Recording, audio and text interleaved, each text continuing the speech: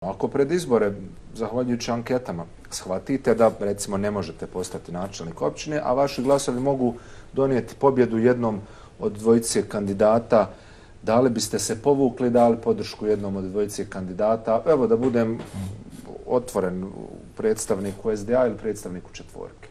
Vidite, ja um, uh, definitivno mislim da je, uh, ukoliko nam je stvarno građanski interes a, prioritet. I ukoliko mi mislimo o, o, o dobru drugog, dobru zajednice, da gradimo jedno, jedno bolje društvo, da smo mi a, prije kandidatura trebali da stavimo svoje CV-eve ovaj, a, na stopa da kažemo koji je to najbolji kandidat za načelnika općine Liđa. Mislim da je, da, je, da je to pravo pitanje.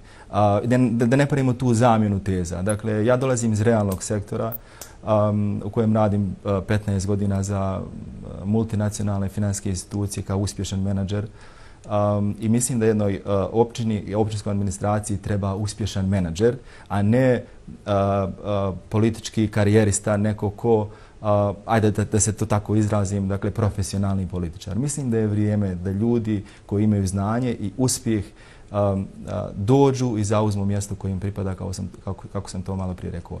A šta ankete govore, dakle, vi um, možete, znamo kako se kreiraju ankete i tako dalje i tako dalje. Ja znam da imamo ogromnu podršku od građana, ljudi sa kojima razgovaramo i tako dalje i tako dalje. Mislim da će situacija ipak biti drugačija da a, a, će se a, veliki broj građana polako priključivati a, nečemu što se zove, a, mi kažemo to široki centar, ja volim da kažem, to je životni centar, dakle a, pokretu koji a, u fokus stvarno stavlja životne potrebe, ali ne samo one osnovne, nego mi moramo graditi ovdje jedan, jedan avangardistički pristup kada je u pitanju život uh, uh, građana, evo na početku općine Iliđa, kantona Sarajevo federacije, ali jednu, jednu državotvornu politiku koja ne mora dođe od ozgo, ona može da dođe od ozdo. Dakle, evo, sa lokalnog nivoa mi možemo to da uradimo na takav način.